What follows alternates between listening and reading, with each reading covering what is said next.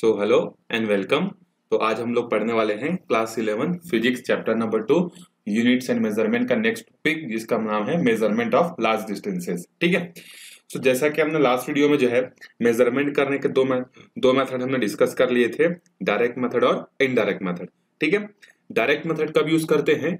जहाँ पर हम लोग जिन दो पॉइंट्स को जिन दो पॉइंट्स का डिस्टेंस हम लोग मेजर करना चाहते हैं, अगर उन दोनों तक हमारी अप्रोच पहुँच है, ठीक है तो हम लोग उसको किस मेथड के अंदर में मेज़रमेंट करते हैं? डायरेक्ट मेथड के अंदर में, ठीक है?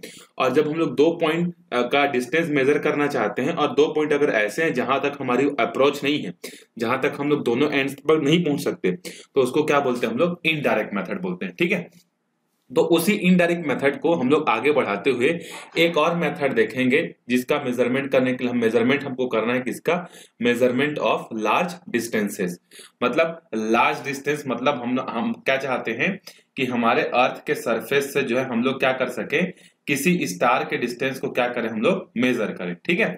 तो स्टार यहाँ है, हमारा अर्थ यहाँ है तो हम लोग दोनों पॉइंट पर तो अप्रोच नहीं कर सकते, अपने दोनों पॉइंट पर नहीं पहुँच सकते, ठीक है? तो इसलिए हम लोग इस डिस्टेंस को मेजर करने के लिए कौन सा मेथड यूज़ करेंगे? इनडायरेक्ट मेथड जो है हम लोग यूज़ करने वाले हैं, ठीक है? और उस इनडायरेक्ट मेथड का नाम क्या है? पैरालैक्स मेथड ठीक है? उस इनडायरेक्ट मेथड का नाम क्या है? पैरालैक्स मेथड ठीक है?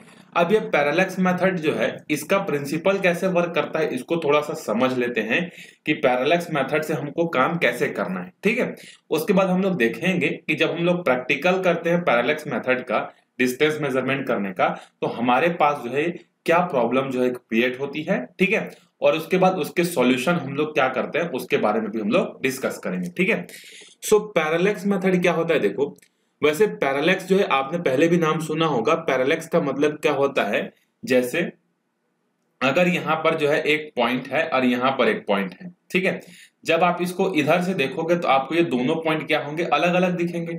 लेकिन जब आप इसी पॉइंट को, इन दोनों पॉइंट्स को आप यहाँ से देखोगे तो पीछे वाला जो पॉइंट है, वो क्या हो जाएगा आपके लिए? छुप जाएगा। इसके इधर में होगा और हमको कैसा दिखेगा? ये एक ही चीज़ दिखेगा। इसी को बोलते हैं पैरालेक्स ठीक है? जैसे बहुत सारे लोगों के आइस में प्रॉब्लम होता है पैरालेक्स करके, ठीक है? वो क्या करते हैं? अगर दो ऑब्जेक्ट है तो उनको क्लासीफाई नहीं कर पाते, ठीक है? उसी को बोलते हैं पैरालेक्स तो फ़िलहाल हमको उस पर नहीं जाना है कि पैरालेक्स क्या होता है, उसके उससे प्रॉब्लम क्या क्या क्रिएट होती है। हमको पढ़ना है पैरालेक्स मैथड तो इस मैथड का प्रिंसिपल क्या देखो? हमारे पास मान लो यहाँ पर एक क्या है? स्टार है, ठीक है? एस है. इसका डिस्टेंस जो है हम लोग अपने अर्थ के सरफेस से जो है मेजर करना चाहते हैं, ठीक है? तो यहाँ पर अर्थ है और यहाँ पर हम खड़े हुए हैं। ठीक है, ये हमारा पोजिशन नंबर वन है। यहाँ पर हम लोग खड़े हुए हैं। ठीक है? इसमें क्या करते हैं हम लोग? अब यहाँ पर तो नहीं पहुँच सकते तो हम लोग क्या करते हैं? एक इंस्ट्रूमेंट का जो है हेल्प लेते हैं। ठीक है? और उस इंस्ट्रूमेंट का मैंने डिस्कशन आपसे कर लिया था कि जैसे माउंट एवरेस्ट के हाइट को मेजर करना है तो हम लोग क्या करते हैं? एक इस तरीके का हमारे पास जो स्फेरोमीटर होता है एक इंस्ट्रूमेंट होता है जिसमें एंगल मेजर एंगल का जो रीडिंग रहता है। और इसको ऊपर उठाते उठाते जाते हैं और जितना दूर ऊपर उठाते हैं, हमको उसका एंगल पता चल जाता है। तो उसी तरीके से उसी इंस्ट्रूमेंट को हम लोग यहाँ पर रखते हैं और सबसे पहले ऐसा ऊपर की तरफ़ देखते हैं, ठीक है? ऊपर की तरफ़ देखते हैं, फिर हम लोग क्या करते हैं, इसको इधर जो है बेंड करते करते करते जो है लेकर आते हैं, ठीक है? तो बेंड करते, लेते, लाते जो है हम लोग इतना एंगल जो है क्या हो गए मुड़कर आ गए, ठीक है? मतलब हम लोग क्या करेंगे, सबसे पहले अपने इस इंस्ट्रूमेंट से पहले सीधा देखेंगे, ठीक है? सीधा देखने के बाद उसको क्या करेंगे? जैसे इसमें आपने क्या क्या था कि ये दोनों लाइनें जो थी पहले ऐसी थी, फिर आपने क्या किया? इस लाइन को उठाते उठाते उठाते उठाते लेकर गया और यहाँ तक लेके गए तो आपको ये वाला एंगल पता चल गया। तो उसी तरीके से उस इंस्ट्रूमेंट का एक सिरा ऐसा सीधा रहेगा और दूसरे को आप इधर ऐसे उठाते उठाते लेकर जाओगे और तब तक उठाते हुए लेकर जाओगे जब तक ये एस पॉइंट आपको दिखना न स्टार्ट हो जाए। ठीक है? तो अब ये इनिशियल लाइन था और ये फाइनल लाइन था। दोनों के बीच का एंगल मान लेते हैं थीटा वन है। फिर आप क्या करोगे? इस पोजीशन पर एक बार नापने के बाद यहाँ से कुछ डिस्टेंस और जाओगे और कहाँ पर पहुँच जाओगे? P2 पर। कोई दूसरा लोकेशन चूज़ करोगे? P2 ठीक है? P2 पर फिर से सेम इंस्ट्रूमेंट को क्या करोगे? पहले ऐसे सीधा देखोगे उससे, फिर इंस्ट्रूमेंट को झुकाओगे झुकाओगे झुकाओगे झुकाओगे, फिर आपको ये वाला एंगल भी पता चल जाएगा। तो ये एंगल क्या हो जाएगा? हमारा थीटा टू हो जाएगा। ठीक है? अब अगर ये एंगल थीटा वन है और ये एंगल अगर थीटा टू है तो क्या इन दोनों के बीच का ये वाला एंगल आप मेजर नहीं कर सकते हो? इजिली कर सकते हो। कैसे करोगे? तो यहाँ पर एक परपेंडिकुलर लाइन ड्रॉ करो। ये एंगल अगर थीटा वन है तो ये वाला एंगल भी कितना होगा? थीटा होगा। क्यों होगा? अल्टरनेट इंटीरियर एंगल अगर ये एंगल थीटा टू है तो ये वाला एंगल भी कितना होगा? थीटा टू होगा। क्यों? अल्टरनेट इंटीरियर एंगल तो देखो, हमको थीटा वन थीटा टू पता चल गया। तो हमने क्या किया? इन, इसका एंगल जो है, हमने मेजर कर लिया। और ये जो एंगल है, जो theta one plus theta two है, इस एंगल को बोलते हैं पैरेलैक्स एंगल तो पैरेलैक्स एंगल क्या है? ये है दो डायरेक्शंस के बीच का एंगल ठीक है? अब दो डायरेक्शंस के बीच का कैसे एंगल जब आप यहाँ पर खड़े रहोगे तो ये पॉइंट आपको कहाँ दिखेगा? मान लेते हैं, ये ईस्ट है, ये वेस्ट है, ये नॉर्थ है और ये साउथ है. जब आप यहाँ पर पहली बार खड़े होगे, सीधा देखोगे, सीधा देखने के बाद आपको इधर देखना है मतलब ये पॉइंट आपको कैसा दिखेगा? जब यहाँ से देखोगे तो ये पॉइंट आपको दिखेगा ईस्ट के डायरेक्शन में करके। वहीं पर जब आप इस पॉइंट पर खड़े होकर देखोगे तो ये आपको कैसा लगेगा? ये वेस्ट के डायरेक्शन में करके। फील होगा कि नहीं आपको? ठीक है? आपके लिए ईस्ट इधर हो जाएगा वेस्ट इधर हो जाएगा। जब यहाँ पर खड़े होगे तो तो आपको कैसा दिखेगा कि ये पॉइंट कौन से साइड में है? वेस्ट साइड में करके। ठीक है? तो दो डायरेक्शन हुए कि नहीं? इधर से देखने से नॉर्थ डायरेक्शन ईस्ट डायरेक्शन इधर से देखने से west direction so what is parallax angle अगर आपसे पूछेगा so parallax angle is the angle between two direction measured at a two different point ठीक है? दो डायरेक्शन से जब हम लोग मेजर करते हैं तो ये वो एंगल होता है जो कि दो, क्या होता है? दो डायरेक्शन के बीच का जो है एंगल होता है। दो अलग अलग डिस्टेंस पर या दो अलग अलग पॉइंट पर मेजर करने से। ठीक है? सो देखते हैं हम लोग पैरलेक्स एंगल क्या होता है। देखो, यहाँ पर दिया हुआ है। मैं आपको यहाँ पर समझा देता हूँ पैरलेक्स एंगल जो है, ये देखो। ये हमारा क्या है? एस पॉइंट है, जो कि हमारा स्टार है, जिसका मेज़रमेंट हम लोग करना चाहते हैं। पहले हम लोग ए वाले पॉइंट पर खड़े हुए और ऐसे पहले सीधा देखे, ऐसे सीधा देखे। सीधा देखने के बाद हमने अपने इंस्ट्रूमेंट को झुका दिया तो ये एंगल हमको कितना मिल गया था? थीटा वन इसके बाद बी वाले पॉइंट पर चलकर आए। बी वाले पॉइंट पर चलकर ऐसे आप सीधा देखे, फिर अपने इंस्ट्रूमेंट को झुका दिए थे थीटा टू तो ये जो थीटा एंगल जो है, ये थीटा किसके बराबर है? This theta is equal to theta one plus theta two और इसी थीटा एंगल को हम लोग क्या बोलते हैं? पैरलेक्स एंगल बोलते हैं, ठीक है? सो देखो पैरलेक्स एंगल का मतलब यहाँ पर क्या दिया हुआ है? पैरलेक्स एंगल या पैरालिटिक एंगल भी वो उसको बोलते हैं, ठीक है? तो देखो the angle A S B in figure में ए एस बी था ना, वही क्या represented by the symbol theta which is called the parallax angle और द पैरालेक्टिक एंगल सो अगर सिर्फ़ और सिर्फ़ आपसे पैरलेक्स एंगल पूछता है तो पैरलेक्स एंगल का डेफिनेशन आप क्या लिखोगे?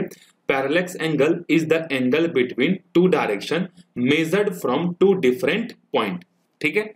तो दो डायरेक्शन के बीच का ये एंगल होता है। अब देखो, ये क्या है? एज अ सेंटर है। ठीक है? ये सेंटर है और ये बहुत ज़्यादा दूर है। तो ए से लेके बी तक जो है, ये हमारा क्या कहलाता है? ए से लेके बी तक का डिस्टेंस कहलाता है। बेस कहलाता है। ये क्या कहलाता है? हमारा ये कहलाता है बेस ठीक है?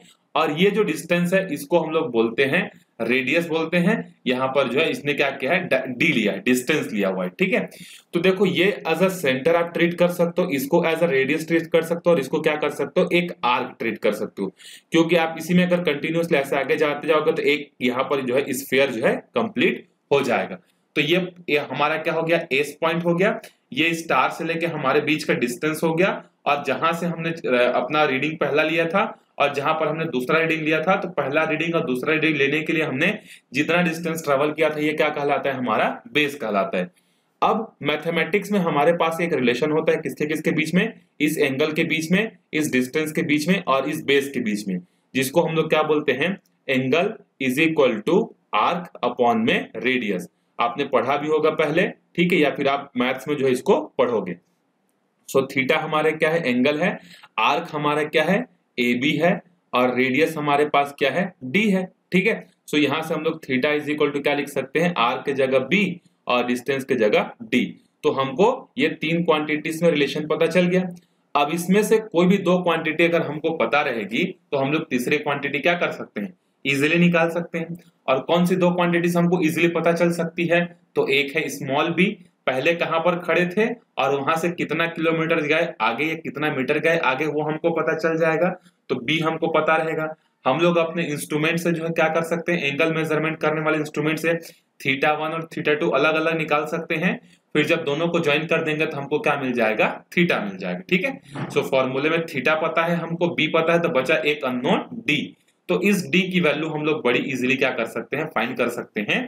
तो यह है हमारा प्रिंसिपल किसी दूर स्टार का हम लोग अपने अर्थ से जो है मेज़रमेंट कैसे करेंगे? ये चीज़ आपको समझ में आ गया। पैरालेक्स मेथड में क्या करना है आपको? आपको एक पॉइंट पर खड़े होकर जो है क्या करना है? अपने इंस्ट्रूमेंट को पहले सीधा देखना है। फिर सीधा देखने के बाद आपको क्या करना है? इधर आपको झुकाते जाना है, दूसरे एंड को। और दूसरे एंड को जितना झुकाओगे तो यहाँ पर आपको अपनी रीडिंग मिल जाएगी कि कितना एंगल आपने झुका है। उसको नोट कर लेना है। फिर आप क्या करोगे, जिस पॉइंट पर पहले रीडिंग ले रहे थे, जिस पॉइंट पर पहले देख रहे थे, अब वहाँ से थोड़ा सा दूर जाकर देखोगे, ठीक है? थोड़ा सा नहीं, बहुत ज़्यादा दूर जाके आप किसी दूसरे पॉइंट बी से इसको देखोगे, पहले सीधा देखोगे, फिर इसके दूसरे एंड को ऐसे झुकाओगे तो थीटा टू पता चल जाएगा। थीटा वन और थीटा टू को ऐड करेंगे तो थीटा पता चल जाएगा। बी हमको पता है, इस फॉर्मूले में रख देंगे तो हमको स्टार का डिस्टेंस पता चल जाएगा। ये तो है इसका प्रिंसिपल लेकिन इसमें प्रॉब्लम क्या क्या आती है, उसको थोड़ा सा समझते हैं, ठीक है? प्रॉब्लम ये आती है कि यहाँ पर जो है, ये जो डिस्टेंस जो है, ये जो बेस है, ये जो बेस है और यहाँ पर जो एस है, ये एंगल कितना बड़ा होगा, वो किस बात पर डिपेंड कर रहा है कि ये जो बेस है, ये कितना बड़ा है, ठीक है? अगर आप बेस को ए से लेके बी तक लोगे, इतना बड़ा लोगे तो एंगल इतना बड़ा बनेगा। अगर आप बेस को यहाँ से लेके यहाँ तक ही लोगे तो एंगल क्या होगा? छोटा बनेगा, देखो। और छोटा लोगे तो एंगल क्या होगा? और छोटा होगा। ठीक है? मतलब यहाँ पर थीटा एंगल जो बनने वाला है या जो बनेगा, वो किस बात पर डिपेंड कर रहा है कि बेस कितना लंबा है। बेस जितना ज़्यादा लंबा होगा, ये थीटा भी उतना ज़्यादा होगा और थीटा जितना ज़्यादा हमारे लिए होगा, उतना ही ज़्यादा उसका कैलकुलेशन करना क्या हो जाएगा? आसान रहेगा, ठीक है? थीटा जितना छोटा होगा, उसका कैलकुलेशन करना हमारे लिए क्या होता है? उतना डिफ़िकल्ट होता है, ठीक है? एक प्रॉब्लम तो ये हो गई कि बेस को हमको बड़ा करना होता है, ठीक है? अब देखो आप बेस को मैक्सिमम कितना बड़ा कर सकते हो? आप अर्थ के एक एंड से दूसरे एंड तक भी चले जाओगे ना? मतलब अगर आप जो है ए, एक पॉइंट को मानते हो मान लो नॉर्वे मतलब नॉर्थ पोल मान लेते हो ठीक है? और दूसरे को मान लेते हो ऑस्ट्रेलिया। ये दो एंड से हमारे एक नॉर्वे है और एक क्या है? ऑस्ट्रेलिया है। जब आप नॉर्वे से रीडिंग लोगे एस का और ऑस्ट्रेलिया से लोगे रीडिंग एस का तब जो ये एंगल बनेगा, ये एंगल क्या होगा? इतना ज़्यादा छोटा होता है, इतना डिस्टेंस ट्रेवल करने के बाद। देखो, हम लोग अर्थ के एक एंड से दूसरे एंड पर आ गए हैं। अर्थ के एक एंड से दूसरे एंड पर आ गए हैं, तब भी ये एंगल जो होता है, वो इतना ज़्यादा छोटा होता है। क्यों? क्योंकि अर्थ का रेडियस कितना होता है? अर्थ का रेडियस होता है six thousand four hundred kilometre जबकि ये जो स्टार है, ये तो कई कई करोड़ किलोमीटर दूर है, कई मिलियंस किलोमीटर दूर है। तो इस मिलियंस किलोमीटर के कंपैरिजन में 6400 किलोमीटर क्या है? नेग्लेजिबल है। तो ये जो बेस जो होता है, इसको हम लोग चाह कर भी बड़ा जो है अर्थ के सरफेस पर रहते हुए हम लोग नहीं बना सकते। रीजन समझ में आ गया? क्योंकि जिस स्टार को आप मेजर कर रहे हो, वो अर्थ के अर्थ का जो डायमीटर या अर्थ का जो रेडियस है, उसके मुकाबले बहुत ज़्यादा डिस्टेंस पर है। ठीक है? तो हम लोग चाह कर भी थीटा को बड़ा नहीं कर पाते। पहला प्रैक्टिकल प्रॉब्लम तो ये हो गया। दूसरा प्रैक्टिकल प्रॉब्लम ये होता है कि मैंने आपको यहाँ पर बोल दिया कि आप एक पॉइंट पर खड़े हो ना, यहाँ पर आपका एस है, जिस स्टार का आप डिस्टेंस मेजर करना चाहते हो, और यह आपका पॉइंट है ए। आप यहाँ पर खड़े होकर क्या करना, पहले सीधा देखना। अरे भाई, सीधा कहाँ देखोगे? कौन सा? अब देखो, ये तो इन्फानाइट डिस्टेंस मतलब बहुत ज़्यादा डिस्टेंस पर है। अब यहाँ पर जब आप खड़े हो गए तो आप यहाँ खड़े हो गए तो आपको पता थोड़ी चलेगा कि सीधा कौन सा है। आप जब ऐसे देखोगे, तब भी आपको लगेगा कि मैं सीधा ही देख रहा हूँ। जब आप ऐसे देखोगे, तब भी आपको लगेगा कि सीधा ही देख रहा हूँ। मतलब अगर आपको एंगल नापना है तो एंगल नापने के लिए दो लाइन होनी चाहिए। एक लाइन से क्या एंगल नाप सकते हो? आंसर है नहीं। एक लाइन से एंगल कैसे बनेगा? एंगल के लिए तो कम से कम दो लाइन चाहिए। तो एक लाइन इसमें से फिक्स्ड होना चाहिए और दूसरा लाइन जो है घूमना चाहिए, तभी हमको एंगल पता चलेगा। लेकिन वही है कि इस फिक्स्ड लाइन को आप ढूंढोगे कैसे? कहाँ पर देखोगे कि वो सीधा होगा। ठीक है? आप यहाँ पर रख के देख रहे हो, ये देख रहे हो, आप इसको सीधा मान रहे हो और ये इसको एंड को फिक्स किया, दूसरा एंड को ऐसे घुमा रहे हो, तब भी आपको नहीं मिलेगा। क्यों? क्योंकि हमको यहाँ से अगर आपने इसको पहले ऐसे देखा सबसे शुरुआत में और दूसरे एंड को घुमाते घुमाते यहाँ ले आए तो ये एंगल कितना है ये आपको तो पता चल जाएगा। लेकिन इसके बाद यहाँ पर जो ये एंगल क्रिएट करेगा, ये एंगल कितना होगा, आप नहीं पता कर सकते। मतलब आपको एक फिक्स्ड लाइन यहाँ पर ड्रॉ करनी ही पड़ेगी। तभी तो ये एंगल आपको पता रहेगा, तभी तो ये लाइन और ये लाइन पैरेलल होंगे, तभी तो अल्टरनेट इंटीरियर एंगल से ये एंगल और ये एंगल आप क्या कर सकते हो? मेजर कर सकते हो। तो एक और प्रॉब्लम क्या हुआ, समझ में आया? जो मैंने आपको फिक्स्ड लाइन की बात कही थी कि फिक्स्ड लाइन से आपको रोटेट करना है, ये आपका पॉइंट है एस और यहाँ पर है आपका पॉइंट ए ए लोकेशन तो ए से मैंने आपको बोला था कि ऐसा एक सबसे पहले एक सीधा होना चाहिए, एक सीधा देखोगे और उसके बाद दूसरे एंड को ऐसा रोटेट करोगे। तो इस सीधा को ढूंढोगे कैसे? ठीक है? एक फिक्स्ड लाइन तो हमारे पास होना चाहिए, जिसके रेफरेंस में हम लोग उसी को देखें। अब मान लो अगर यहाँ पर एक पॉइंट रहता है जो कि फिक्स्ड है तो अब जब भी रीडिंग लोगे तो सबसे पहले अपने जो इंस्ट्रूमेंट है उसको फोकस करोगे इस पॉइंट को देखने में। तो ये पॉइंट क्या हो जाएगा? स्ट्रेट हो जाएगा। क्यों स्ट्रेट होगा? क्योंकि हम लोग ये मानते हैं कि जब बहुत दूर रहता है कोई चीज़ तो उससे आने वाली जो लाइटें जो होती हैं, वो पैरल होती हैं। तो यहाँ से जो लाइट जो आ रही होगी वो सब कैसी होंगी? पैरेलल होंगी। यहाँ पर एक और लाइट आ रही होगी, वो भी पैरेलल होगी। यहाँ पर आ रही होगी, वो भी पैरेलल होगी। यहाँ पर आ रही होगी, वो भी पैरेलल होगी। मतलब ये लाइन और यहाँ पर जो हम लोग इसके बाद यहाँ पर जो लाइन ड्रॉ करेंगे, ये दोनों ऑब्वियस है, क्या हो जाएँगे? पैरेलल हो जाएँगे। क्योंकि ये लाइट रेज आपस में पैरेलल हैं तो ये लाइन भी तो हम लोग यहीं से खींच रहे हैं ना तो ये आपस में क्या हो जाएँगे? पैरेलल हो जाएँगे। तो यही फिक्स्ड पॉइंट हमको ढूंढना है। ठीक है? तो देखो हमने अपने गैलेक्सी में जितने भी स्टार हमको मिलते हैं, उसको तीन पार्ट में जो है डिवाइड किया है। एक स्मॉल डिस्टेंस वाले स्टार एक है मीडियम डिस्टेंस वाले स्टार और एक है लार्ज डिस्टेंस वाले स्टार तो ये जो पॉइंट हमको कैसे मिलेगा, ये फिक्स पॉइंट हमको कैसे मिलेगा तो हम लोग क्या करेंगे? हम लोग अपने इंस्ट्रूमेंट से किसी एक लार्ज क्या करेंगे? लार्ज डिस्टेंस स्टार को जो है हम लोग फिक्स कर लेंगे, जो कि हमारे अर्थ के सरफेस से बहुत ज़्यादा दूर है। ऐसे स्टार को हम लोग चूज़ करेंगे और उसको फिक्स्ड कर देंगे। और जब भी हम लोगों को रीडिंग लेना होगा तो सबसे पहले अपना फोकस इस पर करेंगे। फिर हम लोग इसको फिक्स्ड करने के बाद हम लोग अपने दूसरे एंड को इंस्ट्रूमेंट के, जो यहाँ पर है, उसको क्या करेंगे? घुमाते जाएँगे ऐसे, और घुमा कर जो है हम लोग इतना घुमा देंगे, और ये एंगल अब हमको पता चल जाएगा। ये एंगल हमको मिल जाएगा थीटा वन अब एक प्रॉब्लम तो सॉल्व हो गया। अब इधर भी आओगे, उसी तरीके से बी पॉइंट पर आओगे। ठीक है?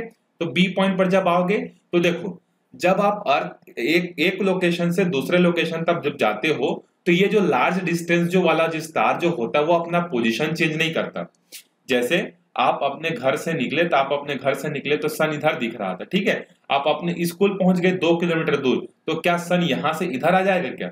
नहीं आएगा, ठीक है? क्योंकि वो बहुत ज़्यादा दूर है। तो जो चीज़ें बहुत ज़्यादा दूर होती है वो हमारे स्मॉल चेंजेस के कारण अपना डायरेक्शन जो है चेंज नहीं करती। तो जब आप ए से बी तक जाओगे तो वो जो है अपना डायरेक्शन जो है चेंज नहीं करेगी। ये ये जो स्टार है, ये नीचे नहीं आ जाएगी। ये यहीं पर रहेगी। और जब आप यहाँ से देखोगे, तब भी आपको ये स्टार कैसा दिखेगा? आपको यहाँ दिखेगा। जैसे आप अपने घर से स्टार को देखते हो तो इस डायरेक्शन में दिखता है। आपका फ्रेंड उसके घर से दिखता है तो उसको भी उसके घर के सामने दिखता है। ठीक है? तो उसी तरीके से इस स्टार को जब आप यहाँ इस पॉइंट पर खड़े होकर देखोगे, तब भी आपको ऐसा सीधा दिखेगा। जब आप इस जगह पर खड़े होकर देखोगे, तब भी ये स्टार आपको क्या दिखेगा? उसी तरीके का सीधा जो है दिखेगा। क्योंकि ये जो डिस्टेंस है बहुत छोटा है और ये डिस्टेंस जो है क्या? बहुत बड़ा है। तो बहुत बड़े डिस्टेंस के कंपैरिजन में स्मॉल डिस्टेंस को चेंज करने से इसके डायरेक्शन में कोई फ़र्क नहीं पड़ता। तो हम लोग भी जब यहाँ पर खड़े होंगे, सबसे पहले इसी स्टार को फोकस करेंगे और फिर अपने इंस्ट्रूमेंट के दूसरे एंड को ऐसा घुमाते जाएँगे। तब हमको ये एंगल क्या मिल जाएगा? थीटा टू जो है, मिल जाएगा और बाद में हमको ये टोटल थीटा मिल जाएगा और ए से लेके बी तक का डिस्टेंस हमको बी पता है तो हमको अब यहाँ पर theta is equal to B upon में डिस्टेंस करेंगे तो डिस्टेंस हमको मिल जाएगा, ठीक है? समझ में आ गया? तो एक प्रैक्टिकल प्रॉब्लम को तो हमने सॉल्व कर लिया और वो प्रैक्टिकल प्रॉब्लम क्या था? इस एंगल का मेज़रमेंट हम लोग कैसे करेंगे? क्योंकि ये लाइनें आपस में पैरेलल होनी चाहिए, ये लाइन और ये लाइन और ये लाइन तभी तो आप अल्टरनेट इंटीरियर की प्रॉपर्टी लगाकर इस एंगल का कैलकुलेशन कर पाओगे। ठीक है? तो पहला प्रॉब्लम हमने सॉल्व कर लिया। अब दूसरा प्रॉब्लम कैसे सॉल्व करोगे? दूसरा प्रॉब्लम क्या है कि आप अर्थ के एक एंड से दूसरे एंड पर ही क्यों ना पहुँच जाओ? ये जो बेस का जो डिस्टेंस जो होता है, इस स्टार के कंपैरिजन में क्या होता है? नेग्लेजिबल होता है। और जब डिस्टेंस नेग्लेजिबल होगा तो एंगल जो होगा, वो भी क्या होगा? बहुत छोटा होगा, जिसको जिसका कैलकुलेशन कर पाना बहुत डिफ़िकल्ट होता है। इवन जब आप ऑस्ट्रेलिया से नॉर्वे तक चले जाओगे तो जो एंगल आपको मिलेगा वो एक सेकेंड से भी कम मिलेगा। मतलब सोचो, एक डिग्री के सिक्सटी टुकड़े करने से क्या मिलता है? मिनट एक मिनट का सिक्सटी पार्ट का एक पार्ट क्या होता है? सेकेंड मतलब एक सेकेंड एंगल भी हमको नहीं मिलता जब हम लोग नॉर्वे पर खड़े होकर डिस्टेंस को देखते हैं और ऑस्ट्रेलिया पर खड़े होकर जो है डिस्टेंस को देखते हैं। तब जब एक सेकेंड एंगल हमको नहीं मिल रहा है तो उसका कैलकुलेशन कर पाना तो और पॉसिबल नहीं है। एक सेकेंड से भी छोटा मिलता है। तो इस प्रॉब्लम को हम लोग कैसे सॉल्व करें? तो साइंटिस्ट लोगों ने जो है इसका भी सॉल्यूशन ढूंढा और कैसे ढूंढा देखो। सन के चारों तरफ़ जो अर्थ होता है, ये क्या करता है? इस तरीके से घूमता है एलिप्टिकल शेप में। घूमता है कि नहीं? ठीक है? और यहाँ पर हमारा क्या है? वो स्टार है, जिस स्टार का हम लोग डिस्टेंस जो है अपने अर्थ के सरफेस से मेजर करना चाहते हैं। ठीक है? और हमको पता है कि अगर सन के चारों तरफ़ अगर पृथ्वी घूम रही है, अर्थ घूम रहा है तो उसको घूमने में क्या लगते हैं? बारह महीने लगते हैं मतलब एक साल लगते हैं। मतलब अगर सन पहली बार यहाँ पर है तो छह महीने बाद कहाँ पहुँच जाएगी? छह महीने बाद यहाँ पहुँच जाएगी। ठीक है? मतलब अपने यहाँ पर अगर जनवरी में है तो जनवरी, फरवरी, मार्च, अप्रैल, मई, जून, जुलाई में कहा पहुँच जाएगी? यहाँ पहुँच जाएगी। ठीक है? अब हमको ये डिस्टेंस जो पता है ये डिस्टेंस होता है ये बहुत ज़्यादा होता है ये डिस्टेंस होता है टू एस्ट्रोनॉमिकल यूनिट ये याद रखना जब अर्थ सन के चारों तरफ़ घूमता है तो छह महीने में अगर यहाँ पर है तो अगले छह महीने में वो टू एस्ट्रोनॉमिकल यूनिट डिस्टेंस दूर हो जाता है। अब देखो टू एस्ट्रोनॉमिकल यूनिट मतलब एस्ट्रोनॉमिकल यूनिट मतलब कितना था? Ten to the power approximately fourteen या थर्टीन था मतलब बहुत बड़ा डिस्टेंस था कि नहीं एस्ट्रोनॉमिकल सो so, अब देखो ये डिस्टेंस क्या है? बहुत बड़ा हो गया ठीक है? अब यहाँ से हम लोग अपना रीडिंग जो है बड़ी आसानी से ले सकते हैं। तो एक बार यहाँ खड़े होंगे, ठीक है? और यहाँ पर हम लोग सीधा देखेंगे, फिर इस एंगल को जो है ऐसा मेजर कर लेंगे। मतलब पहला फोकस तो हम लोग फार फार अवे स्टार पर करेंगे ना? तो फार अवे स्टार को पहले देखेंगे, फिर सेटिंग कर लेंगे। सेटिंग करने के बाद यहाँ से अपने इंस्ट्रूमेंट को रोटेट कराते कराते लेकर आ जाएँगे और ये एंगल हमको मिल जाएगा। इस एंगल को नोट कर लेंगे। फिर जिस दिन हमने रीडिंग ली है, उसके छह महीने बाद जो है जाकर हम लोग क्या करेंगे? हमको पता है कि छह महीने बाद ये अपना लोकेशन चेंज करके यहाँ आ जाएगा। तो हम लोग अपना लोकेशन चेंज नहीं करेंगे। अगर हम लोग छत्तीसगढ़ में है तो छत्तीसगढ़ में ही रहेंगे, ठीक है? लेकिन हमारा अर्थ जो है छह महीने में यहाँ चले आ जाएगा। कितना दूर आ जाएगा? टू एस्ट्रोनॉमिकल यूनिट डिस्टेंस जो है ये आ जाएगा, ठीक है? तो छह महीने का वेट करेंगे और छह महीने बाद फिर से हम लोग अपने एक बड़े स्टार पर फोकस करेंगे। सबसे पहले अपने इंस्ट्रूमेंट को फोकस कराएँगे, फिर उसको ऐसा रोटेट कराते हुए उसको जो है मेजर कर लेंगे। तो ये एंगल हमारा कितना हो जाएगा? ये एंगल हो जाएगा थीटा टू अब जो ये थीटा वन थीटा टू को ऐड करने से जो थीटा मिलेगा, ये थीटा क्या होगा? काफ़ी बड़ा होगा। मतलब 10 डिग्री 20 डिग्री 25 डिग्री 30 डिग्री भी हो सकता है, ठीक है? अब उसका मेज़रमेंट करना हमारे लिए इजी हो जाएगा, ठीक है? तो उस समय हमको ये डिस्टेंस जो है यहाँ से लेके यहाँ तक का डिस्टेंस मिल जाएगा, ठीक है? तो हमने क्या क्या देखा? पैरालेक्स मेथड क्या होता है हमने देखा? उसके बाद जो है हमने इसके प्रैक्टिकल प्रॉब्लम्स क्या क्या होते हैं, उसको भी हमने डिस्कस कर लिया और इस प्रैक्टिकल प्रॉब्लम का जो है सॉल्यूशन जो होता है, उसको भी हमने जो है देख लिया। ठीक है? समझ में आ गया आपको? तो प्रॉब्लम क्या थी? एक तो था कि एंगल का मेज़रमेंट कैसे करेंगे, क्योंकि एक स्ट्रेट लाइन से हमको बेंड करने से ही हमको एंगल मिलेगा। तो हमने एक दूर के स्टार को फोकस कर लिया और दूर के स्टार को फोकस करने का रीजन क्या था? कि वो अपना पोजीशन जो है चेंज नहीं करता। इवन ये जो डिस्टेंस जो होता है ना एक यहाँ से लेके यहाँ तक का डिस्टेंस ये कई हज़ार लाख एस्ट्रोनॉमिकल यूनिट होता है। ठीक है? तो ये डिस्टेंस जो है बदलता नहीं है। दो एस्ट्रोनॉमिकल यूनिट जाने से हम लोग हर बार सबसे पहले अपने इंस्ट्रूमेंट्स इसको फोकस करते हैं, फिर झुकाते हैं, फिर बेंड करते हैं थीटा निकालते हैं और ये डिस्टेंस हमारा फिक्स है। टू एस्ट्रोनॉमिकल यूनिट इस फॉर्मूले में रखेंगे तो हमको स्टार का डिस्टेंस यहाँ से पता चल जाएगा। ठीक है? अब ये जो पैरालेक्स मेथड है, इसके कुछ लिमिटेशंस हैं। अब इसके लिमिटेशंस क्या है? पैरालेक्स मेथड का यूज़ आप लोग सिर्फ़ और सिर्फ़ किसके लिए कर सकते हो? मीडियम स्टार के डिस्टेंस को मेजर करने के लिए ही कर सकते हो। मैंने आपको बताया था कि हमारे गैलेक्सी में जितने स्टार उसको तीन कैटेगरी में डिवाइड किए हैं। एक लेस डिस्टेंस वाले स्टार एक मीडियम डिस्टेंस वाले स्टार और एक लार्ज डिस्टेंस वाले स्टार का जो है हम लोग मेज़रमेंट जो है करते हैं, ठीक है? तो स्मॉल डिस्टेंस वाले को तो हम लोग अपने सैटेलाइट वगैरह से जो है इजिली कर सकते हैं। तो मीडियम वाले को मेज़रमेंट करने के लिए हम लोग किसका यूज़ करते हैं? पैरालेक्स मेथड का जो है यूज़ करते हैं। तो अगर मीडियम स्टार वाले डिस्टेंस अगर ज़्यादा है तो उसका मेज़रमेंट कर पाना पॉसिबल नहीं होता है इस मेथड से। ठीक है? अब रही बात लार्ज डिस्टेंस वाले स्टार को हम लोग कैसे मेजर करते हैं? तो उसके लिए हमारे पास जो है एक स्पेक्ट्रम मेथड होता है, जो कि आपके सिलेबस में नहीं है। जो स्टार आपसे जितना दूर होगा, वो उतना ज़्यादा कलर क्या करता है? चेंज करता है। ठीक है? मतलब उससे आने वाले जो लाइटें होंगी, उस लाइटों में जो है क्या होगा? उतना ही ज़्यादा कलर होगा। अगर नज़दीक से आ रहा है तो कम कलर कम कलर में वेरिएशन शो करेगा और अगर दूर से आ रहा है तो उसमें बहुत सारे कलर जो है होंगे। जिस तरीके से सन अर्थ से बहुत ज़्यादा दूर है तो बहुत ज़्यादा दूर होने के कारण वो क्या करता है? सात कलर भेजता है, ठीक है? तो उसी तरीके से अगर आप लार्ज डिस्टेंस का मेज़रमेंट करना चाहते हो लार्ज स्टार के डिस्टेंस का तो जिस स्टार का आप मेज़रमेंट करना चाहते हो, उस स्टार से आने वाली लाइट को पकड़ो और उसके कलर्स को स्टडी करो, ठीक है? उसके कलर्स की जब आप स्टडी करोगे तो वहाँ पर आपको मिलेगा उसका वेवलेंथ मिलेगा, ठीक है? और हर एक कलर का लाइट जो होगा, हर एक का वेवलेंथ जो होगा, वो क्या होगा? अलग अलग होगा, ठीक है? तो हर एक का वेवलेंथ अलग अलग होगा। तो आप अलग अलग वेवलेंथ से जो है आप क्या कर सकते हो? कैलकुलेट करके उसका डिस्टेंस जो है मेजर कर सकते हो। तो आप फ़िलहाल आप उस पर फोकस मत करो कि लास्ट डिस्टेंस को कैसे मेज़रमेंट किया जाता है। वो आपके सिलेबस में नहीं है। जब आप ट्वेल्थ पढ़ोगे तो आई थिंक ट्वेल्थ के सिलेबस में भी इस बार हटा दिया है। तो मे बी आपको ये कॉलेजेस लेवल पर जो है आपको देखने को मिलेगा कि लास्ट डिस्टेंस का मेज़रमेंट जो है कैसे करते हैं। ठीक है? तो ये हो गया हमारा मीडियम स्टार के डिस्टेंस का मेज़रमेंट किस तरीके से किया जाता है? पैरालैक्स मेथड से जो है किया जाता है। ठीक है? चलो, अब इसके बेसिस पर कुछ क्वेश्चन देखते हैं। देखो, सबसे पहला न्यूमेरिकल है। Calculate the angle of one degree one minute and one second in radian देखो, हमारे पास एंगल मेज़रमेंट करने के जो है तीन सिस्टम होते हैं। एक होता है रेडियन होता है, जो कि एसआई सिस्टम है। एक होता है डिग्री होता है और तीसरा होता है हमारे पास ग्रेड सिस्टम, ठीक है? वैसे और अलग अलग सिस्टम है, लेकिन बेसिकली जो है, इन तीन सिस्टम्स का जो है मोस्टली जो है यूज़ किया जाता है एंगल को मेज़रमेंट करने में। रेडियन डिग्री और ग्रेड तो अभी जो आपको यहाँ पर दिया हुआ है तीन चीज़ें, ये डिग्री में है और डिग्री का छोटा भाई मिनट मिनट का छोटा भाई सेकेंड इन सबको आपको किसमें कन्वर्ट करना है? रेडियन में जो है आपको कन्वर्ट करना है, ठीक है? सो देखो डिग्री और रेडियन में एक रिलेशन होता है कि टू पाई रेडियन जो होता है, वो किसके बराबर होता है? ये होता है 360 डिग्री के बराबर होता है। ठीक है? 360 डिग्री बराबर two pi radian. So one degree is equal to कितना होगा? तो आप लिख सकते हो कि टू पाई अपॉन में 360 डिग्री। होगा कि नहीं होगा? 360 डिग्री ही तो होगा। ठीक है? अब टू वन जा और ये 180 जा। So one degree is equal to कितना हो गया? Pi upon 180 radian. ठीक है? पाई की वैल्यू होती है 22 अपॉन सेवन तो जब आप यहाँ पर 22 अपॉन में सेवन इंटू वन एट्टी करोगे और इसको सिंप्लीफाइड करोगे तो इसकी वैल्यू कितनी आएगी?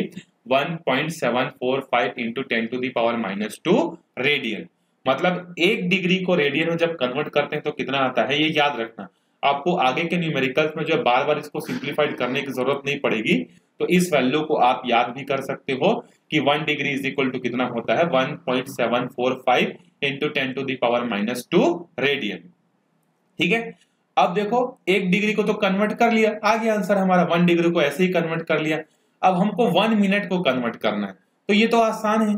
एक डिग्री इज़ इक्वल टू कितना होता है? सिक्सटी मिनट एक मिनट का हमको निकालना है तो एक मिनट इज़ इक्वल टू कितना हो? देखो एक डिग्री इज़ इक्वल टू होता है सिक्सटी मिनट। हमको एक डिग्री की वैल्यू पता है, कितना होता है रेडियन में?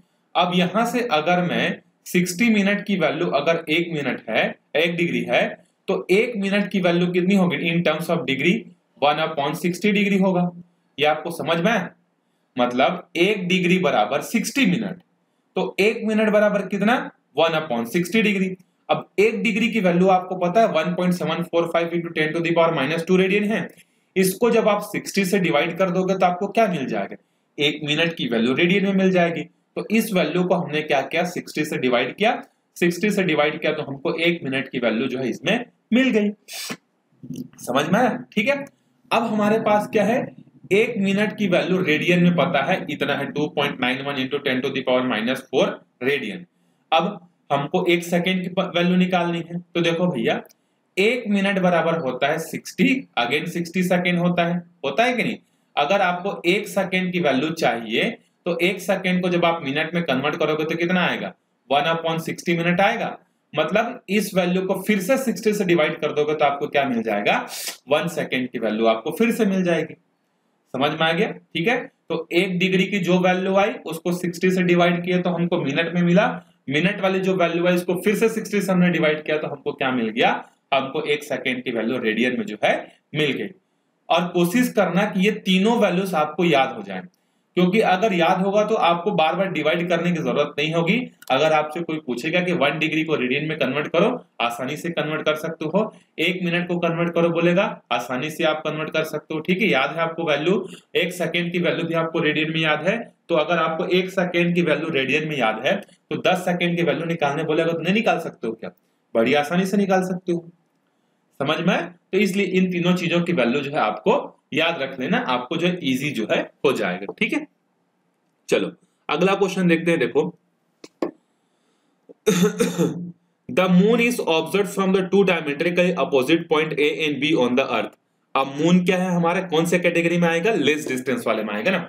तो हम लोग इसको अर्थ के सरफेस के दो अलग अलग पॉइंट से मेजर कर सकते हैं, ठीक है? ये एंड अगर ए और बी अगर अर्थ के दो डायमेट्रिकली अपोजिट पॉइंट हैं तो वो जो मून के साथ जो एंगल क्रिएट करेंगे वो काफ़ी बड़ा होगा। क्यों? क्योंकि मून हमसे कम डिस्टेंस पर है, ठीक है? तो यहाँ पर जो थीटा मिलेगा, वो सफिशियंट मिलेगा, ठीक है? The angle is subtended at the moon by two direction of observation is one degree and fifty four minute मतलब ये कौन सा एंगल आपको समझ में आया? ये वाला एंगल जिसकी हम लोग बात कर रहे थे, ठीक है? ये अभी स्टार के जगह, अभी मान लो क्या है ये? एक मून है।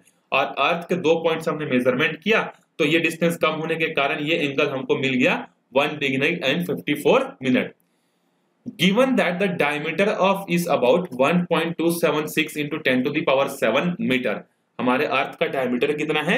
1.276 into 10 to the power 7 diameter का मतलब क्या है? वो बेस की बात कर रहा है, क्योंकि आपने कहा कहा मेज़रमेंट लिया है?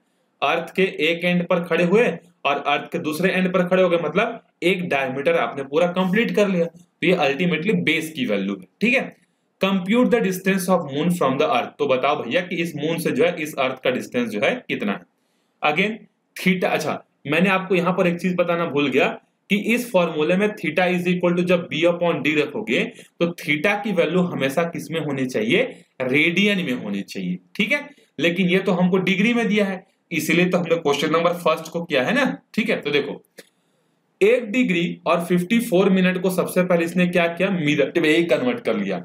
एक डिग्री मतलब 60 मिनट तो 60 मिनट और 54 दोनों को ऐड कर दिया इसने, ठीक है? तो 60 प्लस 54 ऐड होकर कितने हो गए? 140 मिनट। अब एक मिनट की वैल्यू अब देखो, यहाँ पर फिर से इसने इसको सेकेंड में कन्वर्ट किया तो उसकी ज़रूरत ही नहीं है आपको। क्यों? क्योंकि आपको देखो एक मिनट की वैल्यू आपको पता है कि एक मिनट मतलब कितना होता है? Two point nine one into ten to the power minus four होता है। और आपके पास कितनी वैल्यू है? वन वन फोर है। तो आप चाहो तो directly two point nine one into ten to the power minus four का मल्टीप्लीकेशन इसके साथ डायरेक्टली कर सकते हो। तब भी आपको रेडियन में मिल जाएगा। इसने ज़बरदस्ती क्वेश्चन का बोझ बढ़ाने के लिए जो है क्या किया है? इसको ज़बरदस्ती सेकंड में कन्वर्ट कर सेकंड में कन्वर्ट करके ज़बरदस्ती और मल्टीप्लाई किया। ठीक है? तो ये फालतू है। ठीक है? आप डायरेक्टली क्या करना? 114 मिनट को क्या करना है? 2.91 point nine one into ten to the power minus four से मल्टीप्लाई करना है। आपको सेम वैल्यू जो है यहाँ से मिल जाएगी। ठीक है? अब ये रेडियन में कन्वर्ट हो गया। अब उसके बाद देखो, ये फिर से बकवास यहाँ चीज़ दिया। ठीक है? चलो, उसके बाद आगे देखो, हमको क्या दिया है? बी चाहिए बेस तो हमको पता है कि बेस कितना दूर गए हम लोग। ए से बी तक जो पूरा डायमीटर कवर किया है हमने। और वो डायमीटर कितना है? One point two seven six into अब हमारे पास है भैया theta is equal to base upon में डायमीटर तो डिस्टेंस इज़ इक्वल टू क्या हो जाएगा? बेस अपॉन में थीटा दोनों वैल्यूज़ को रखो कैलकुलेट करो न्यूमेरिकल सॉल्व करो डिवाइड करो, आपको मिल जाएगा डिस्टेंस कितना है मून का अर्थ से। तो कितना है? लगभग लगभग 3.84 point eight four into ten to the power eight metre ये डिस्टेंस हमको मिल जाएगा। ठीक है? समझ में आया आपको? चलो, एक और छोटा सा क्वेश्चन है, देखो, ये जो दिया हुआ है एग्ज़ाम्पल 2.2 इसको भी देख लेते हैं।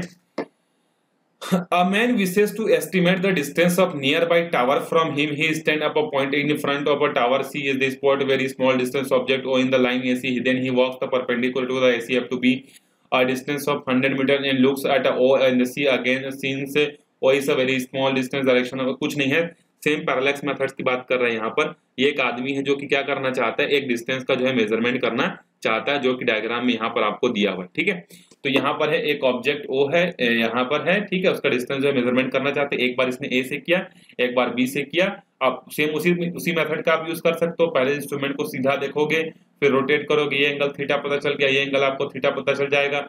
ये परपेंडिकुलर आपको पता है थीटा भी आपको पता है तो इसमें तो सिंपल ट्रिग्नोमेटर यूज़ करके आप निकाल सकते हो, ठीक है? कोई बहुत बड़ा मेथड नहीं है, कोई बहुत बड़ा चीज़ नहीं है। टेन थीटा को कनेक्ट करोगे तो टेन थीटा किसको किसको कनेक्ट करता है? परपेंडिकुलर अपॉन बेस तो आपको ये बेस जो है मिल जाए, ठीक है? तो आप उसको इजिली सॉल्व कर सकते हो। एसी की वैल्यू आपको निकालनी है, कोई बहुत बड़ा चीज़ नहीं। ठीक है? अगला क्वेश्चन भी सिमिलर उसी तरीके का है। ठीक है? सन का एंगुलर डायमीटर जो भी आपको दिया है। सबसे पहले बस एक चीज़ का ध्यान रखना कि जो डिग्री में दिया है ना, उस डिग्री को आप रेडियन में पहले कन्वर्ट कर लेना। उसके बाद जो है वैल्यू कैलकुलेट करना। तो जैसे अगर कॉम्बिनेशन दिया है कॉम्बिनेशन का मतलब क्या होता है कि डिग्री में भी दिया है और मिनट में भी दिया है। ठीक है? जैसे two degree and two degree and thirty thirty minute, ऐसा दिया है। तो सबसे पहले दोनों को मिनट में कन्वर्ट कर लेना। तो दो डिग्री मतलब 120 मिनट 120 प्लस 30 कितना हो जाएगा? 150 मिनट। अब जैसे ही मिनट में कन्वर्ट हुआ, एक मिनट की वैल्यू आपको रेडियन में पता उससे मल्टीप्लाई कर देना। पूरा पूरा सब चीज़ रेडियन में जो है क्या हो जाएगा? कन्वर्ट हो जाएगा। ठीक है? तो इस तरीके से आप पैरालेक्स मेथड का यूज़ करके अप्रोक्सीमेटली क्या कर सकते हो आप? किसी स्टार का डिस्टेंस जो है आप इजिली मेजर कर सकते हो। ठीक है? सो so, या फिर एक क्वेश्चन देख ही लेते हैं इस क्वेश्चन को हम लोग ठीक है? आप लोग बोलोगे कि सर बताए नहीं करके। देख लेते हैं ठीक है? क्या है हमारे पास question the sun's angular diameter is measured to be 1920 metre minute that अच्छा दो डॉट दो लगा हुआ है second sorry 1920 second the distance D of sun from the earth देखो, अभी उसने ऑलरेडी डिस्टेंस दिया हुआ है कि डिस्टेंस इतना है एंगल इतना बन रहा है. What is the diameter of the sun अरे भैया, आराम से तो निकाल सकते हो. कैसे निकाल सकते हो? देखो क्या क्या गिवन है आपको? सन का एंगल दिया है हमको 19200 दिया है कि नहीं? 19200 सेकेंड तो एक सेकेंड में इतना रेडियन तो इतने सेकेंड में कितना? इसको मल्टीप्लाई कर दो. और सन का डायमीटर डायमीटर का मतलब क्या होता है? देखो डायमीटर मतलब डिस्टेंस की बात कर रहा है। सन यहाँ पर है अर्थ यहाँ पर है तो ये डिस्टेंस कितना है आपको बताना है, ठीक है? तो आपको पता है कि एंगल इज़ इक्वल टू क्या होता है? बेस अपॉन बेस अपॉन में क्या डिस्टेंस था तो वहीं से डिस्टेंस इज़ इक्वल टू क्या हो जाएगी? ये दोनों मल्टीप्लाई हो जाएँगे मतलब बेस ठीक है? तो सन्स का डायमीटर कितना हो जाएगा? D is equal to alpha into D ये कैसे आया? आपको समझ में आया कि नहीं आया? देखो एंगल थीटा है यहाँ पर इसने एंगल को अल्फ़ा लिया है और बेस है बी और डिस्टेंस है हमारे पास डी तो यहाँ से जब आप बी की वैल्यू निकालोगे बीस बेस की वैल्यू निकालोगे तो बेस की वैल्यू आपकी कितनी आ जाएगी? तो अल्फ़ा और डिस्टेंस दोनों क्या हो जाएँगे? मल्टीप्लाई हो जाएँगे। तो अल्फ़ा भी आपको दिया है कितना एंगल बन रहा है सन के साथ और कितना डिस्टेंस पर रखा हुआ मतलब वो सन कितना दूर है, ये भी हमको दिया है। तो सिंपली मल्टीप्लाई करेंगे तो हमको क्या मिल जाएगा? उसका बेस मिल जाएगा। और वही उसका क्या काम करेगा? डायमीटर का काम करेगा तो कोई बहुत बड़ा चीज़ जो है ये भी नहीं। ठीक है? समझ में आ गया? तो ये है हमारा पैरालेक्स मेथड अगले वीडियो में हम लोग देखेंगे किसके बारे में? Estimation of very small distances size of molecule जो मॉलिक्यूल का साइज़ होता है, उसका साइज़ हम लोग किस तरीके से मेज़रमेंट करते हैं? तो उसके लिए हमारे पास क्या होता है? एक मेथड होता है जिसमें हम लोग किसका मेज़रमेंट करेंगे? ऑयलिक एसिड के मॉलिक्यूल के डायमीटर का मेज़रमेंट करना हम लोग वहाँ पर सीखेंगे। ठीक है? तो ये वीडियो आपको समझ में आया कि नहीं आया, कि फास्ट हो गया, बताना। अगर नहीं समझ में आया होगा तो बता देना। मैं आपके लिए दूसरा वीडियो जो है इजीली और धीरे धीरे जो है करके आपको पैरालेक्स मेथड समझा दूँगा। क्योंकि पैरालेक्स मेथड से एक ना एक क्वेश्चन जो है आ सकता है। ठीक है? तो फिर मिलते हैं अगले वीडियो में। तब तक अच्छे से पढ़ते रहो। मिलते हैं अगले वीडियो में। Bye bye